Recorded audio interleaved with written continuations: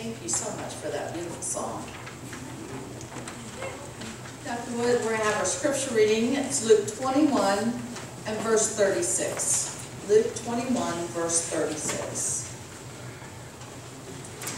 Watch therefore and pray always that you may be counted worthy to escape all these things that will come to pass and to stand before the Son of Man.